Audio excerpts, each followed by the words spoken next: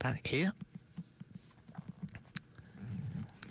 It's also six to one about trap two here. Hello, Chiara. Three from 16, a winner last time out and an A4, and eight to one about trap four, Smurfing Master. Hare is on the move, Doncaster. Really competitive A3 here. Trap six, just favourite, five to two on the off. They're away. One missed the break quite badly. Three got away well with six. They'll be the first two into the turn in that order. Two up behind them on the inside, followed by five, one, and four. Three leads them by a couple of lengths.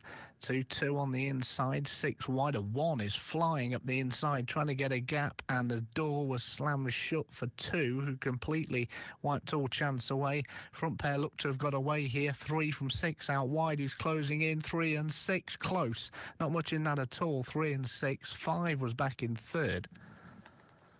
That we do know. Five was back in third, very close. Six and three. And there's the photo. Three with head up in the air, six with head low, seemingly